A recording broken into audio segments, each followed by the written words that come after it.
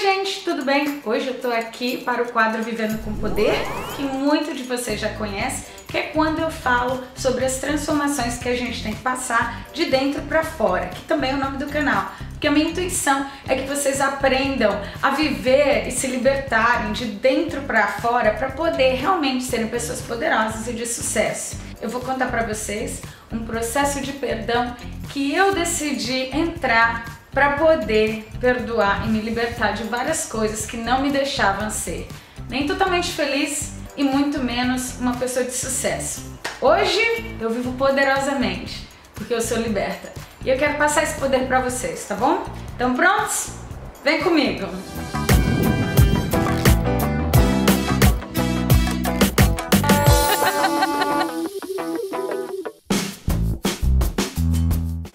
Que perdoar é necessário? Pessoas que não perdoam, gente, elas andam acorrentadas. São pessoas que não conseguem se mover. É como se eu tivesse correntes e eu tento andar, e eu tento correr para o meu futuro e eu não consigo. Além disso, correntes são pesadas.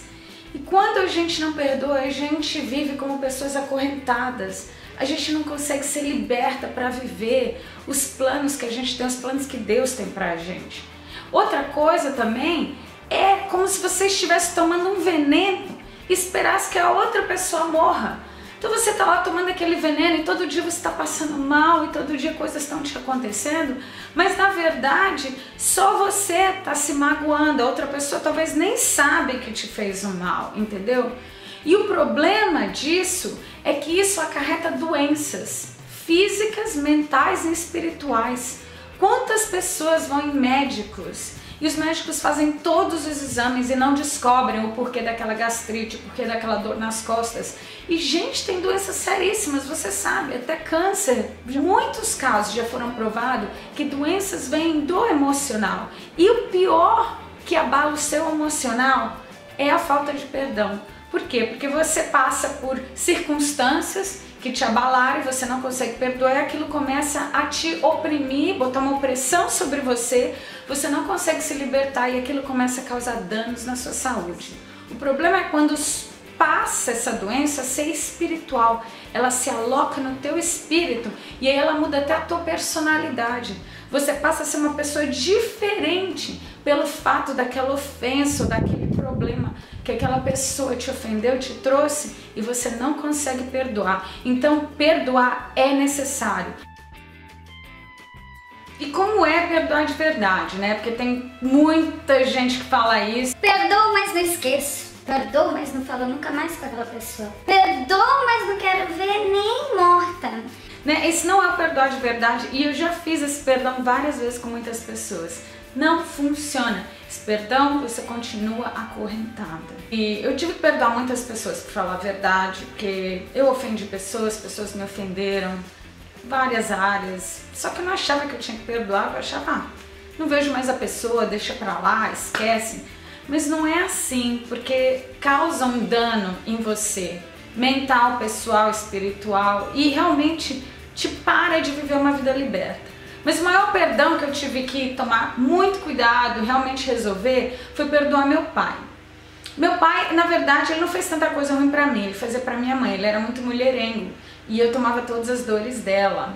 E digamos assim que algumas vezes ele nos abandonou por causa dessa tentação que ele tinha com a mulherada, tá? Então, deixa aí. E nisso, minha mãe sofria muito e aí eu comecei a criar um ódio do meu pai. Abolia o, o pensamento de que existia um homem bom. Todo homem era safado, entendeu? E isso, gente, eu tô falando, eu não quero que isso soe como eu esteja ofendendo meu pai, eu perdoei ele, tá? Meu pai tá super perdoado, é, ele mudou? Não, ele continua a mesma pessoa, mas esse é o perdão verdadeiro que eu quero falar pra vocês. E como foi que eu consegui perdoar de verdade? Primeiro você tem que ter o perdão dentro de você e eu não tinha. E o que aconteceu foi o seguinte, eu fui de várias crenças, já fui de vários cultos e religiões, mas eu estudava sobre o perdão e eu, eu fazia as técnicas, mas não funcionava. Até que eu conhecia Deus de verdade e eu fiz aquela oração que eu entreguei a minha vida a Deus, que é quando a gente pede o perdão pelos nossos passados a Jesus nessa oração. E Jesus, porque Ele é o perdão em si, você recebe o perdão de Jesus, porque quando você faz essa oração de entrega, você recebe, a Bíblia diz que você recebe o Espírito Santo para morar dentro de você. E é esse Espírito, o Espírito Santo de Deus vivendo dentro de você, que contém o perdão nele, é ele que te libera o poder do perdão para você ser capaz de perdoar as pessoas sem julgá-las, sem botar condições, tá? Então, eu vou botar essa oração aqui em cima, se você quiser fazer. Eu te aconselho, porque esse é o primeiro passo do processo. Eu não acredito que ninguém consiga perdoar de verdade, esquecer do passado daquela, com aquela pessoa e, na verdade, até passar a mala, provavelmente. Não são todos os casos, tá, gente? Porque tem pessoas, por exemplo, que foram estupradas por bandidos, ela tem que perdoar, mas ela não precisa amar aquela pessoa, né? Mas se for um pai, uma mãe, claro, entendeu? Mas o caso é o seguinte, quando você perdoa de verdade, você não lembra mais daquelas coisas, você realmente deixa para trás. E a única forma que isso aconteceu comigo foi quando eu realmente fiz essa oração, aceitando Deus, pedindo perdão para Ele primeiro pelas coisas que eu fiz. E aí eu recebi o poder do perdão dentro da minha vida. E somente ali eu comecei a conseguir perdoar as pessoas de verdade. Algumas eu perdoei na hora, foram só rápidos encontros, algumas eu nem encontrei, mas eu perdoei aquelas pessoas entre eu e Deus. Mas teve algumas pessoas que realmente eu tive que me encontrar face a face, conversar, pedindo perdão, sem lembrar das coisas do passado, porque realmente a minha predisposição era de viver um novo recomeço, tá? Uma coisa muito importante quando você perdoa de verdade, que você precisa lembrar, que aquela pessoa que você perdoou, ela não vai mudar ela não muda. Porque quem está sendo transformado, quem encontrou perdão de verdade, quem recebeu o poder através do Espírito Santo para você de perdoar é você. Então, tá aí outra coisa. Eu amo meu pai demais. Hoje tá incrível. Quando eu perdoei ele, eu passei a amá-lo. Eu tinha ódio dele. Olha isso, gente. Que palavra fortíssima, né? Tenho até vergonha de falar isso, mas eu tenho que contar a verdade aqui para vocês, para vocês entenderem o poder de quão é grande o perdão quando ele é feito com Jesus. E ele é real, e ele é definitivo.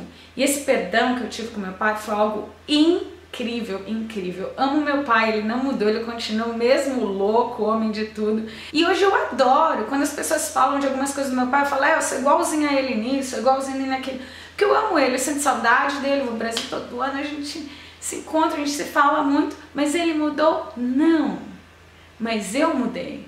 Eu fui transformada.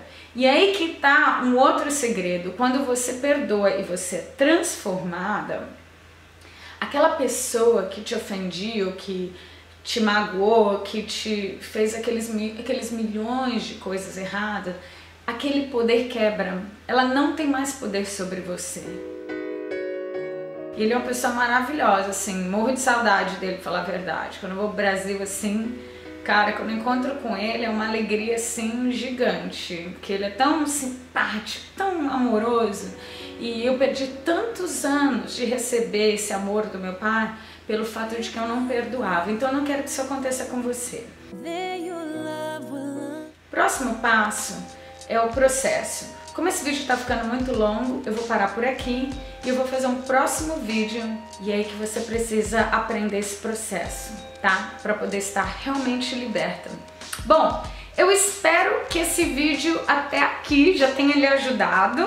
E eu vou fazer o outro vídeo agora mesmo, imediatamente, e aí você já sai desse e corre pro outro para aprender o processo passo a passo de como perdoar, tá bom? Um beijo e até o próximo vídeo. Tchau!